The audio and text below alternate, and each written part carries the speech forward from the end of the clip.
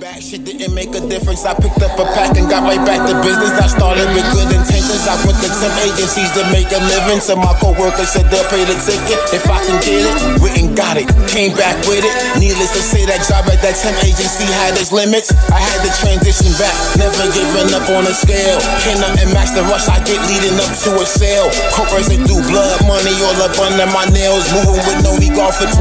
I am under a spell. They walking here right now, we all going for my mom to be deep, I need to be a prodigy so I can wreak havoc.